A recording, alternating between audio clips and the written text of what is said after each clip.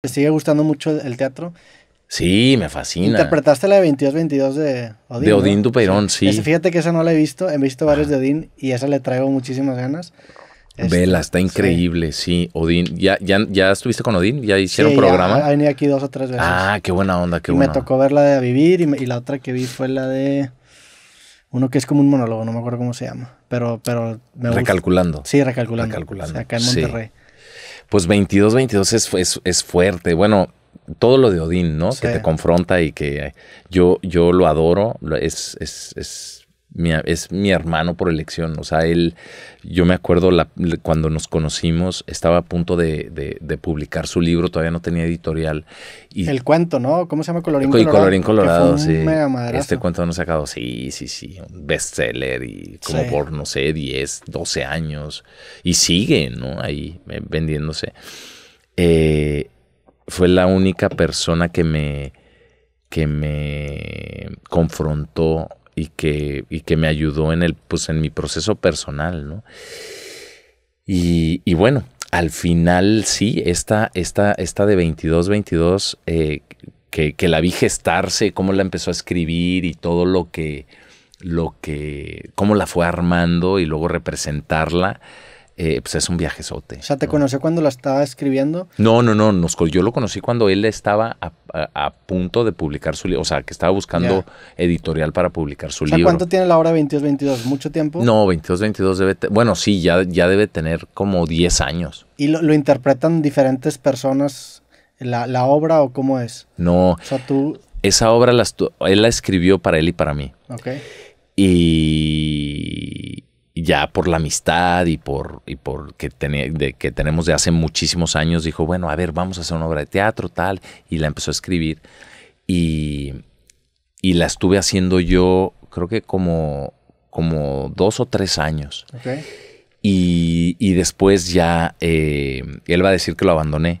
Él te va a decir que, que me fui y que lo dejé. Pero este, pero bueno, no, la verdad es que se acabó el ciclo y, y- me fui a hacer otras cosas.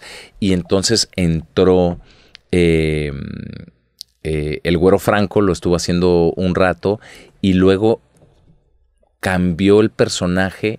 Y entonces en lugar de ser un hombre lo hace una mujer y lo está haciendo Erika Blenner. Entonces, desde la perspectiva, porque sí sabes más o menos de qué va. Trata como de suicidio, ¿no? Sí, trata, Sí. habla del suicidio y así. Entonces, está, está, está, está muy interesante ver, ver las dos, o sea, verla como desde la perspectiva del hombre y desde la perspectiva de la mujer. Entonces, Sí. está, está bien, te la recomiendo muchísimo. Y se siente diferente la intensidad de, de- de estar en el teatro. Sé que también es una persona que te gusta llevar al límite el tema de la actuación y, y como que no te achicas cuando tienes que hacer Sí. roles un poco atrevidos. Sé que incluso has estado desnudo en, en, Sí, en- sí, en obras de teatro. Eh, ¿Sientes tú algo diferente en teatro que, por ejemplo, grabar a lo mejor una serie o una película?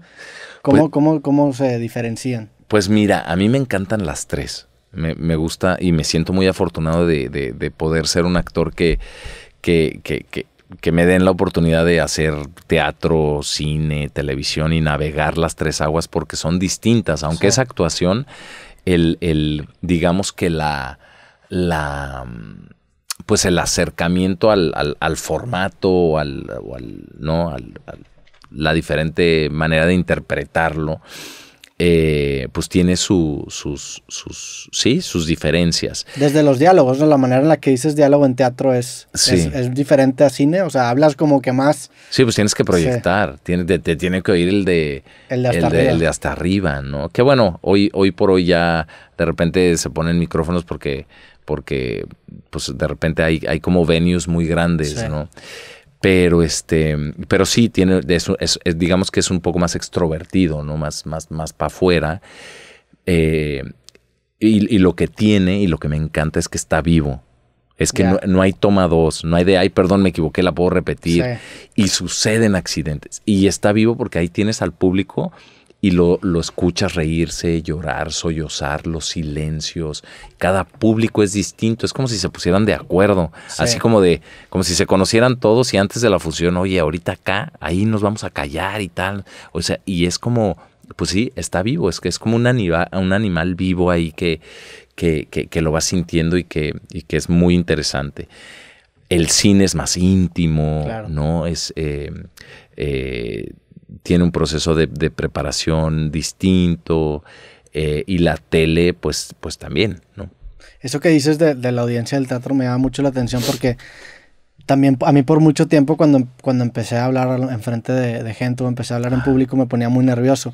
Y la manera de, en la que lo empecé a solucionar es precisamente empezar a ver a la audiencia como un todo, ¿no? Como tú dices, como si todos se ponen de acuerdo y de cierta manera es una persona porque tiene su personalidad. Claro. Y, y, y, en lugar de verlo como un, un, chingo de personas, lo ves como un todo. Entonces, incluso pasa que ahora me pongo más nervioso cuando hablo enfrente de 10 personas porque puedes ver todas las caras a cuando hablas enfrente de mil porque lo, lo, la, la sí. o sea, es algo ya junto, ¿no? lo homogeneizas. Sí. Es como una sola carota.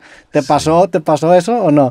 Que empiezas a ver a la audiencia como una sola persona que tiene su personalidad y de repente a lo mejor tocan unas difíciles, unas fáciles, pero se vuelve como un, un, un todo. Fíjate que no lo, había, no lo había aterrizado como una sola persona, pero sí como un todo. Sí. Sí.